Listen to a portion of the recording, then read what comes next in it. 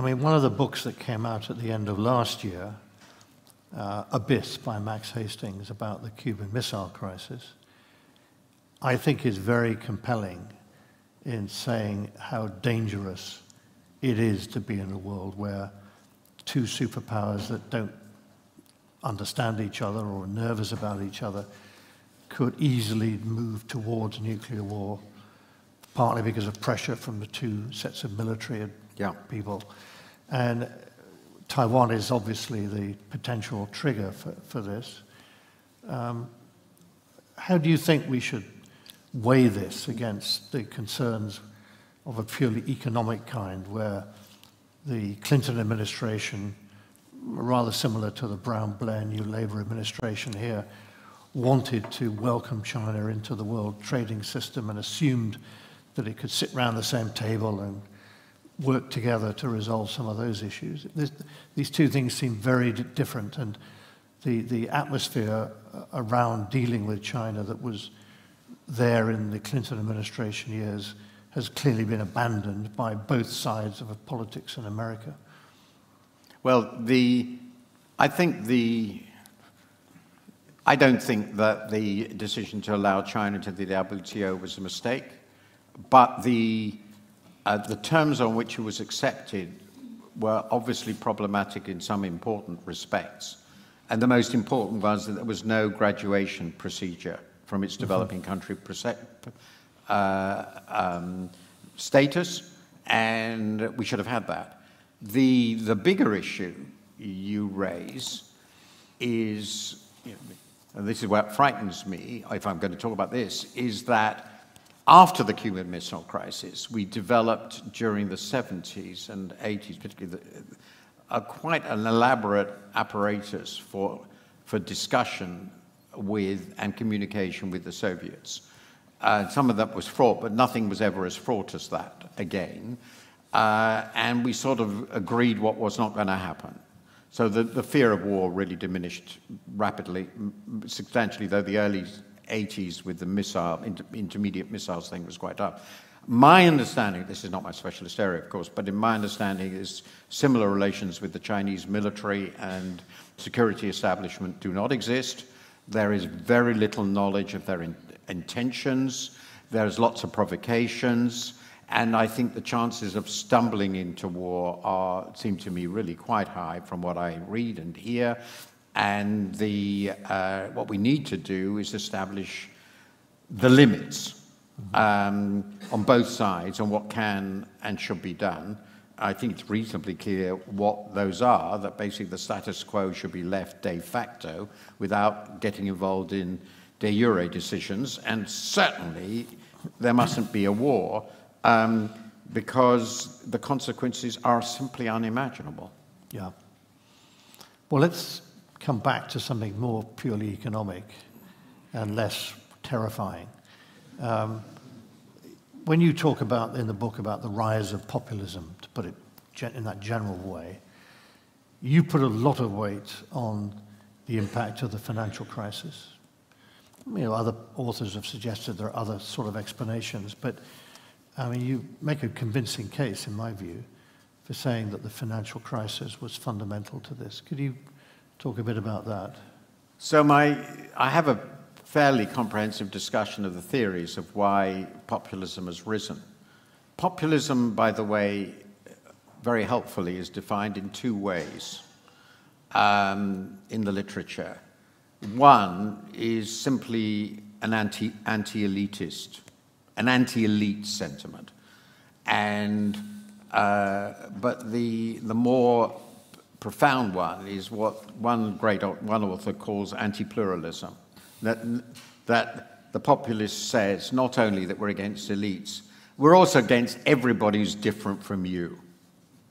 And then you have a big problem, because that's the point at which politics breaks down. And it's not very difficult to see what the difference and where politicians lie on that. Uh, not just here. Uh, you know, I listened to the speeches of Marine Le Pen. So uh, um, populism comes in the first place from a hostility to elites. Now, I think part of that is, uh, is a, um, uh, a long period, I you, decades, in which economic changes, some inevitable and some chosen, disadvantage relatively significant parts of our populations, most notably the industrial working class. And that was true uh, because deindustrialization was a universal feature. There were quite significant changes in income distribution, particularly at the top, um, and growth slowed as well. So the result of that is that the social position and economic position of the industrial working class transformed, as well as huge cultural changes, hmm. which I think became more difficult to accept as their status became more threatened. That was already clear by the middle of the early 2000s. Then papered over with the credit boom. This is Raghuram Rajan's, our friend Raghuram Rajan's view. Then the financial crisis happens. And that has two devastating consequences. First, most economic policy making is pretty remote from most people. They understand when interest rates rise, they understand something to do with people like you when you're at the Bank of England and so forth. But most of the time, these are just things that happen out there. A financial crisis is different. One, it's pretty obvious this is not supposed to happen. Two, it's pretty obvious who's responsible, namely bankers, financiers, and the institutions that are supposed to be in charge of bankers and financiers, apart from themselves, central banks and governments, right? And financial regulators. So they, these are the people in charge. They don't know what they're doing, do they? I mean, it's pretty obvious. You cannot have anything more demonstrative of the fact that the people in charge don't know what they're doing than a massive, monstrous financial. Then, to make it all worse, the governments come along and say, well, we're going to rescue all these people because otherwise it, we're in catastrophe land. So they, they put the entire balance sheets of the government at stake. They invest them, their taxpayer money in supporting the banks, and that keeps all, even keeps all their bonuses, for God's sake. And in the meantime, there's defaults, house prices collapse, uh, unemployment shoots up. That doesn't last forever, but it shot up like mad. And afterwards, then there's a third leg of it. The government says, well, we're broke now, so we've got to cut spending. And they say, well, we didn't do anything to cause that. That was you lot. Uh, um, and that then leads to the other huge thing, which I have, a, I think is the best chart in my book. So if you take the GDP per head of the G7 countries, the major seven countries, the US, UK, France, Germany, Italy, Canada, I'm sure I've missed one out, but anyway, Japan. So, uh, Japan is sui generis, I won't go there. And you ask yourself the question, where is GDP per head in 2021? Where was GDP per head? The average relative to where it would have been if we'd continued the trend from 1990 to 2007. And I wonder how many people in this audience know where UK GDP per head in 2021 was relative to where it would have been if we'd continued the trend of 1990 to 2007 as we understood it. Well, the answer is it was 30% below. And that, by the way, is the second worst after Spain. It's even worse than Italy, but that's partly because its pre crisis growth was already slow. US is 20% down. Yeah. Uh-huh. So we are much, much poorer. And a lot of that in, than people expected. And we're much poorer than people expected after these mess that the elites were seen to have created. And then the austerity came on top of it, which meant the most vulnerable in society suffered. We put these things together, I think it's miraculous that the popular anger isn't greater. So, in the immediate aftermath of the crisis, I organised dinners at the Bank of England. And I'd ask the various people attending why people are not more angry, because they weren't that angry. Um, and partly it's because the measures taken meant that the rise in unemployment didn't persist for that long. But the point I tried to make at the time was Go back to the 1930s. After the Great Depression, there were two tremendous sort of revolutions in thinking. One was in economics, when the economics profession either debated very hotly John Maynard Keynes' ideas. This was clearly a period of intellectual ferment. And in the general political world, people would debate whether we should have a communist society.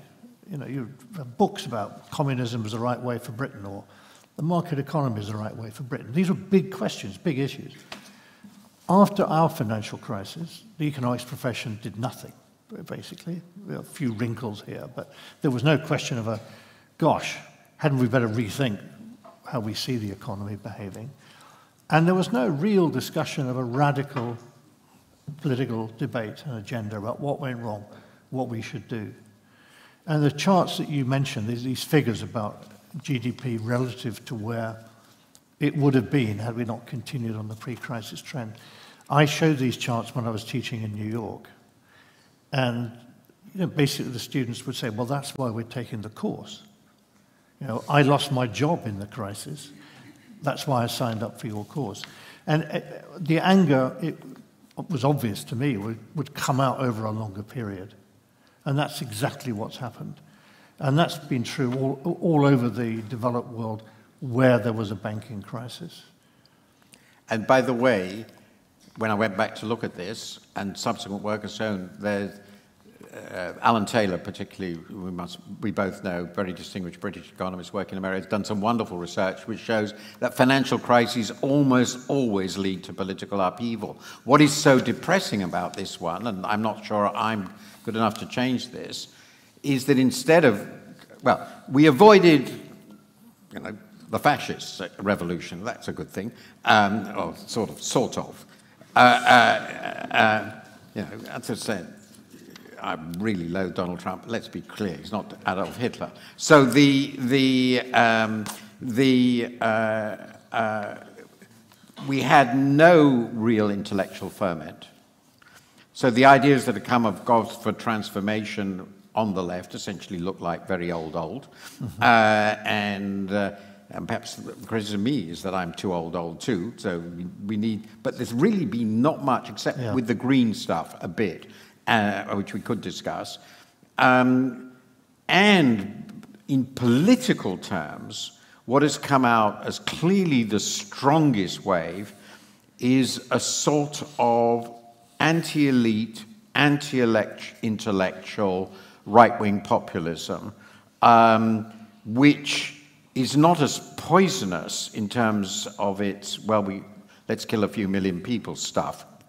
I'm very happy with that uh, as the interwar period, but offers absolutely no relevant answer to any of the challenges. It's just changing the question. Instead of asking, well, we've got a system that isn't working for us, what do we do about that? Uh, as a coherent question, what should we, how should we be changing our policies, our programs? The political parties that have been successful and the movements have been successful basically said, we have no idea at all. Remember, Donald Trump in 2022 uh, came to the uh, stood for re-election with no manifesto. And by the way, that's basically what's going to be true of our two political parties in the next general election. Because I've talked to them, it's pretty obvious. They have no program. Yeah. And the, to be fair, Biden has. So that is, I give him credit for that. At least he's trying to do something, and, uh, uh, and I largely supported it. There's a lot. There's action. There's actually been some action in the EU, but the basic response of the rising political forces, which are right-wing, right-wing populism uh, with an autocratic tinge, has been completely hostile to policy as such. And that is really frightening because the danger is you then get into the Latin American trap, which is you elect somebody like that, he or she does nothing good for you, so you get even angrier and go for somebody even crazier, and it becomes a vicious circle between the left wing extreme and the right wing extreme, and the, the country becomes destabilized. You have to have political parties with bold and coherent programs, which you can believe in when you're in a situation like this, and that's the one thing we are clearly not getting. Right. So my next question is that the book itself and your comments just now, they're very trenchant, very persuasive critiques of so-called populist leaders. And I'm sure there aren't any populist leaders in the audience. Um, we're all members of the elite. And when we, Martin, you and I... I think speak for yourself, No, Martin, you are. Whenever you and I go to, you know, international conferences or meetings, what you get, obviously, or everyone criticizing the populist leaders, saying how dreadful they are, etc. But what advice would you give to the elites? Well, uh, that's, a, that's an interesting question because it's the, the question of how uh, um, political reform, policy reform can happen. Um, so the obvious answer is there are two elements to this, because there are many different elements of the elite. There have to be political leaders who are prepared to and able to sell new programs. Um, uh, and I, you know, I've become very, very convinced, since I can't provide it at all because I'm hopeless, um, that that's a miraculous talent which either you get or you don't. So I've actually become convinced, for example, that the world was unimaginably lucky that Franklin Delano Roosevelt came along in the early 30s. And it's very easy to imagine a world in which he didn't. Mm -hmm. uh, and his attitude to all this, we've got to make changes and we're going to make lots of experiments, and some of them won't work.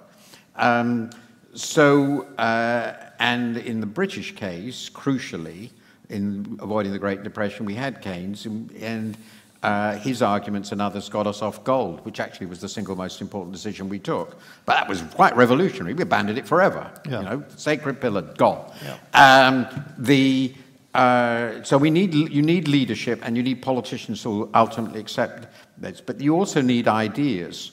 I've tried to produce some, but I fear that mine are perhaps not radical enough. But I do think it's become really, and I, this is the difficult, it's become quite difficult in the sense that, and I can go to this in detail, but it'd take quite a long time, so I won't do it now, that the, the constraints upon us in terms of what we can do are different from the constraints we had in the middle of the 20th century. And if we're going to have a dramatic growth transformation, it will have to come from a, it has to be led by something technological which will radically improve our policy options, and the most obvious one is an energy revolution. Uh, and that's certainly, I think Americans are right to go for that and invest in that big time, and I think we should be doing the same.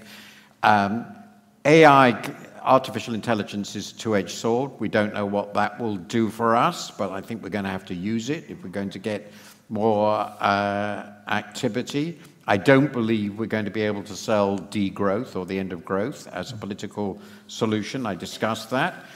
But we, would, we have to do what we can to accelerate uh, technical progress, radically increase investment, both private and public, in our society, radically improve um, the institutions that support um, decentralization of political and economic power, and we have to take some gambles. I find that all very persuasive. I'll give you one example. You mentioned AI.